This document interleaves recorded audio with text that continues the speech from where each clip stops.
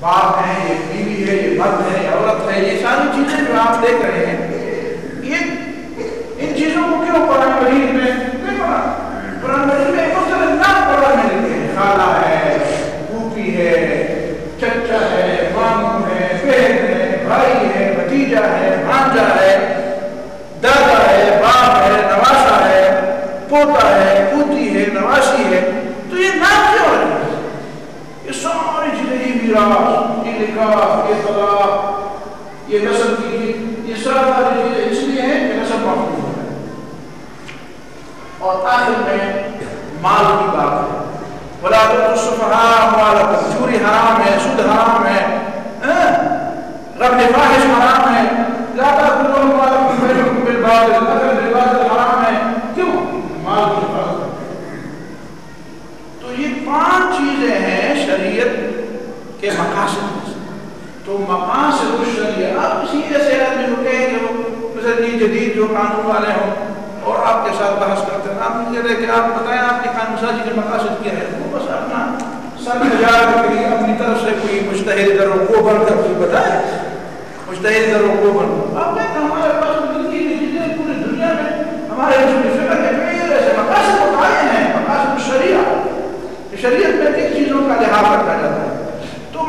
چیز ضمن آپ کے سامنے رکھی ورنہ میں کسی وقت صراحتاً بھی اور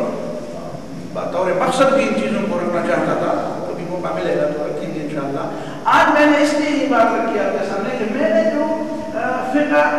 کی جو تعریف بتائی، بنائی ہے اپنی طرف سے،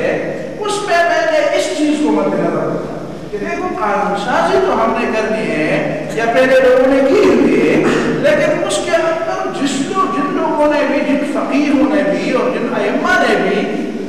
فقہی احکام مستمد کیے اس چیز کو مد نظر رکھ کر مستمد کیے اور اس چیز کو مد نظر رکھ کر جو احکام مستمد ہوئے ہیں وہی احکام شرعیہ ہے اور جو اس چیز کو مد نظر رکھ کر نہیں مستمد ہوئے وہ احکام شرعیہ ہے ہی نہیں اسی لیے میں سمجھتا ہوں کہ اگر اس کی طرف تھوڑا سا دھیان اس تاریخ کے اندر ہو جائے تو اس میں تھوڑی سی اس میں فائدہ زیادہ ہوگا میں نے ذرا مختصر الفاظ میں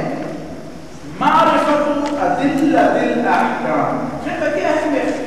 معرفت ادلت الاحکام طرق مقاصد الشریعہ سادہ تعریف معرفت ادلت الاحکام طبق مقاصد احکام، الاحکام۔ احکام شریعہ پر اور ادلہ کی وہی ہے جو ہے، یہ مشہور بات ہے تو پہلے اس نے تھی اس نے آتی اور طبق مقاصد الشریعہ جو شریعت کے مقاصد ہے، ان کو مد نظر رکھ کر ان پر منتظر کرنے کے لیے جو احکام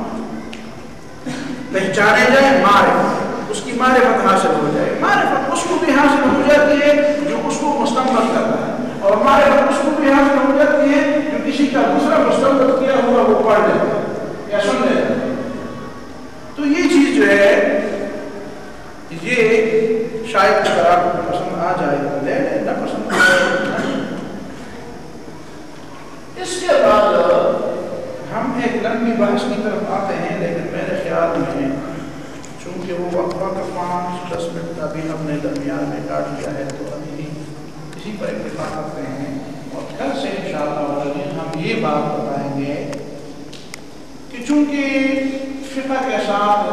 متعلق چیز زیادہ جو اس فوراً ذہن میں آ جاتی ہے، وہ اجتہاد ہے۔ اگرچہ ہم اس کی بحث کریں گے ترتیب کے ساتھ بحث کریں گے۔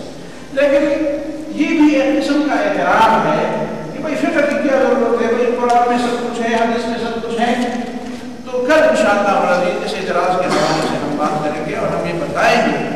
قرآن مجید کے اندر رسول اللہ صلی اللہ علیہ وسلم نے اپنے حدیث کے اندر نبی صلی اللہ علیہ وسلم نے اشتہاد کیا اور نبی صلی اللہ علیہ وسلم نے صحابہ کے آپ کو بھی اشتہاد کرنے کی دعوت دی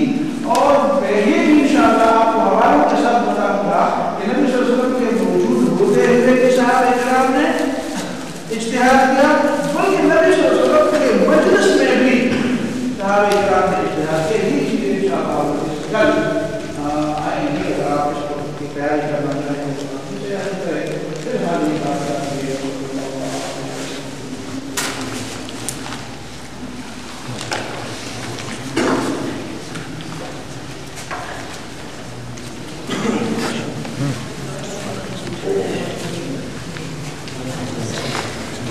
тоже так